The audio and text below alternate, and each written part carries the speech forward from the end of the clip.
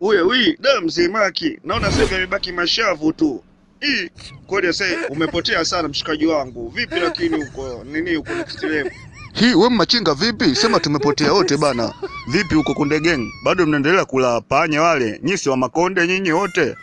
Oya mzee Maki, hivi wewe umeone mtoto Divoice yule sasa hivi anatamba, yani anakimbiza game kalishikilia soko mwanangu. Wewe uone. Kwani sasa hivi Divoice anacheza liaza mpaka tukimbize?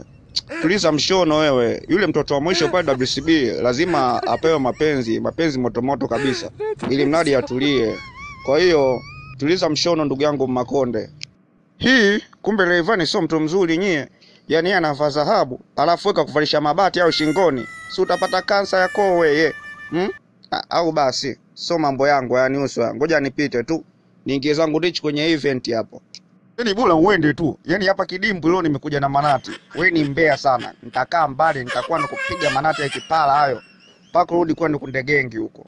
Kwenda zako bwana. Acha unafiki.